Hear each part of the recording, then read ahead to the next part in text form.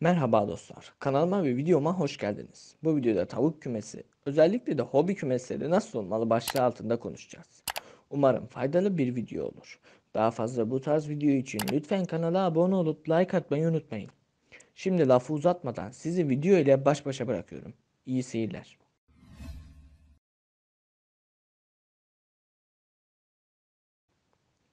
Hobi kümesi nasıl olmalıdır? Hangi malzemelerden inşa edilmeli ve ne kadar büyüklükte yapılmalıdır türünde birçok soru alıyoruz. Bu konuda etraflıca bir tarif yapmak istedik. Sağlıklı süs tavuğu beslemenin belki de en önemli kuralı doğru yere doğru kümesi yapmaktır diyebiliriz.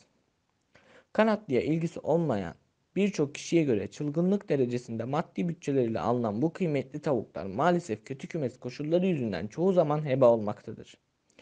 İlk olarak kümesin veya kümeslerin kurulacağı harita yönü oldukça önemlidir. Kuzey cephesi açık olan kümeslerde hava akımı bu narin hayvanlarda muhtelif sorunlara ve daha çok üst solunum yolu rahatsızlıklarına sebep olmaktadır. İmkan varsa kümesin ışık alan cephesi ya da kapısı güneybatı veya güneydoğu yönünde konumlandırılmalıdır. Kullanılacak malzemelere gelecek olursak, bu tabii ki maddi imkanlar ölçüsünde karar kılınacak bir konu.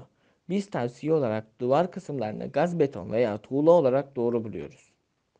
Bu duvarlar kesinlikle ince sıva hatta alçı ve boya yapılarak yaşadığımız evler konseptinde bir işçilik uygulaması ile izole edilmelidir.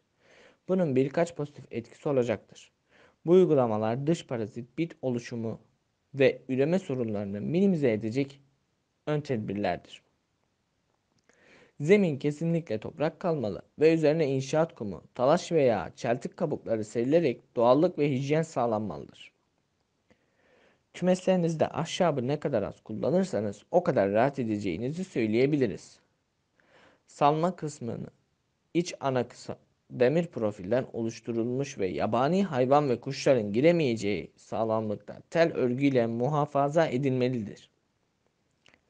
Çatı kısmına sandviç panel veya muadili portatif bir panel yapılması işe yarar bir rahatlık sağlayacaktır. Kalan tek eksik yemlik ve suluklar. İmkan varsa suluk otomatik nipel tercih edilebilir. Yemlik ve sulukların yerden 10-15 santim kadar yukarıda olması hayvanlarınız tarafından kirletilmelerine ve yem israfına mani olacaktır.